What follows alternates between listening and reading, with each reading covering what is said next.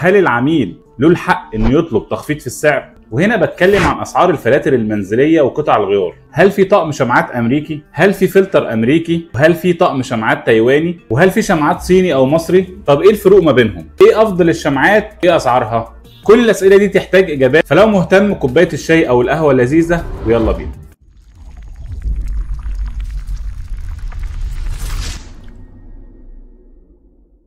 السلام عليكم ورحمة الله وبركاته. أهلا بيكم في فيديو جديد. كتير من العملاء بيسأل عن أسعار الشمعات قطع الغيار. للأسف بيسمع أسعار متفاوتة. فالنهاردة هنشوف بعض الأسعار وهنرد على أسئلة كتير وهنحط قاعدة رئيسية مهمة جدا جدا للعملاء. أولا مفيش فلتر أمريكي في مصر. لا شيء. أي حاجة مطبوع عليها علم أمريكا أو مكتوب عليها made in USA هي مش أمريكي. وفي الغالب إما بتكون صيني أو مصري. طيب هل في شمعات تايواني؟ الإجابة صح وغلط. في شمعات تايواني أصلية ولكن قليلة جدا إنما للأسف في شمعات كتير جدا مكتوب عليها ومحفور عليها made in Taiwan وللأسف بتكون صيني أو مصري. هل في شمعات مصري؟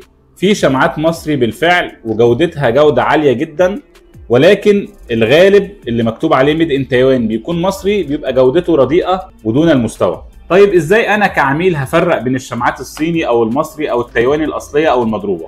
إحنا هنا في القناة شرحنا فيديوهات كتير عن الموضوع ده وفرقنا بين الأصل والتقليد وهسيب لكم بعض الفيديوهات في وصف الفيديو اللي عايز يعرف الموضوع باستفاضة يعني. ولكن الموضوع في أغلب الأحيان بيحتاج اختبارات. فهنصحك نصيحة لو أنت عندك فلتر أو ناوي تشتري فلتر حاول تدور على شركة أمينة أو فني أمين تتعامل معاه بغض النظر عن نوع الشمعات. لأن لو اتفرجت على كل الفيديوهات ومعكش اختبارات ممكن بسهولة جدا حد يضحك عليك. ونيجي بقى الأهم وأخطر سؤال. هل العميل من حقه إنه يناقش الفن اللي عنده في إن الشمعات دي أسعارها غالية أو قليلة؟ أو تكلفة الصيانة غالية؟ الإجابة لأ. طبعا كتير من العملاء هيسمعوا كلامي دلوقتي ويزعلوا. لكن خلينا اسالكم كام سؤال وأوضح لكم كام نقطة. هل لما بتروح للدكتور وتكشف عن تقول الكشف عندك غالي؟ أو يا دكتور الكشف عندك غالي هل بتقول له كده؟ هل لما بتشتري حاجة من الصيدلية أو دواء من الصيدلية بتقول له والله اللي سعرها غالي ولا بتشتريها وأنت ساكت؟ ليه ما بتقولش على كشف الدكتور غالي أو عن الدواء من الصيدلية غالي؟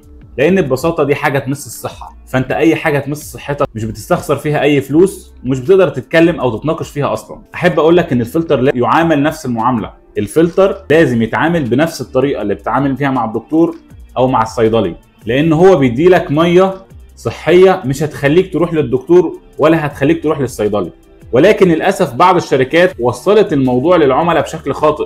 إن إحنا عندنا عروض وإن إحنا عندنا شمعات وإن إحنا عندنا تسهيلات في الدفع. المفروض أنت لما تشتري فلتر أنت اللي تدور على الشركة وأنت اللي تسعى إنك تعمل الصيانة. مش أنا اللي أقول لك والنبي اعمل صيانة عشان خاطرنا أعمل صيانة. لأن الفلتر ده حاجة مهمة في بيتك أهم من أي جهاز عندك في بيتك.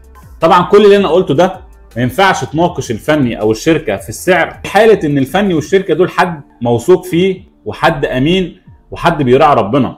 يعني أنا مش بعمم القاعدة على الكل. ما يجيش حد يقول لي أصل في فني بيسرقني وفني بينصب عليا وأنت عايزني ما ناقشوش في السعر. لا أنا مش عايزك تناقشه في السعر في حالة إنك اخترت الشركة الصح واخترت الفني الصح إنه يتعامل معاك. لكن لو انت اخترت شركة صح وفني صح ممنوع منعا باتا تقول له لا ده غالي أو رخيص. ورب يكون الفيديو مفيد لكل اللي شافوه استنوني إن شاء الله في فيديوهات جديدة. أشوفكم على خير. السلام عليكم.